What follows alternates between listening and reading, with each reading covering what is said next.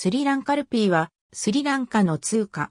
通貨記号はルピー、SLRS、国際通貨コードは LKR。補助単位はセント。1ルピーが100セントである。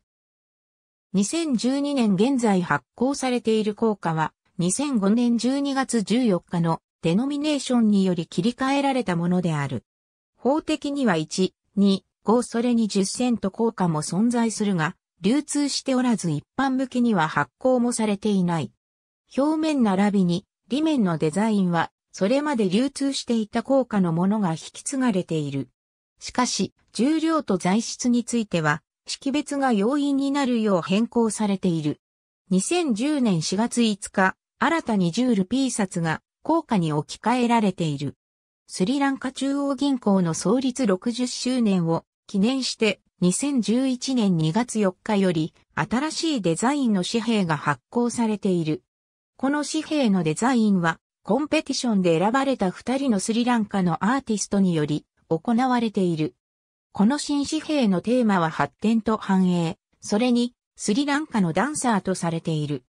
紙幣の表面にはスリランカの開発プロジェクトと土着の鳥、蝶が、裏面にはスリランカの伝統的なダンスを踊るダンサーが描かれている。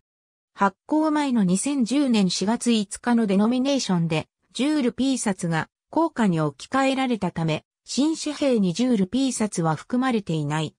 このシリーズは、1991年から2010年までの間に、いくつかの異なるバージョンが発行されている。1995年発行のものは表面中央化の図が強調されている。2001年発行のものでは500ルピー札と1000ルピー札に金属のストライプが追加されている。2010年4月5日より10ルピー札はコインに置き換え。ありがとうございます。